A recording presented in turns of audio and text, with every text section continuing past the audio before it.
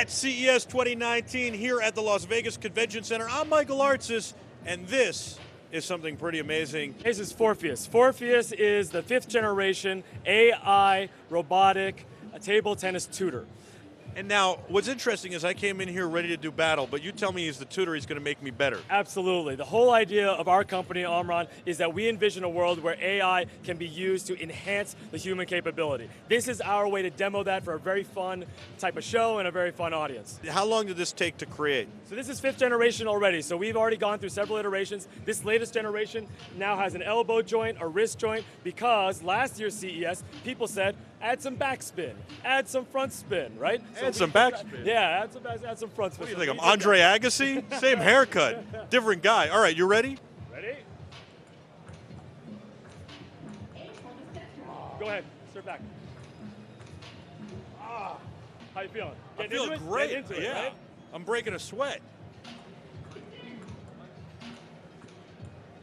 It's making me feel good.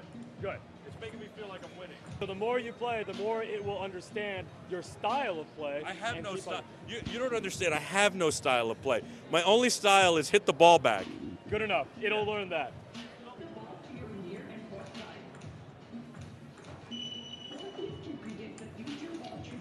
Did you see that? Nice. Getting better. This is awesome, Mike. I really had fun playing. Um, just one thing. How do I get one of these in my living room?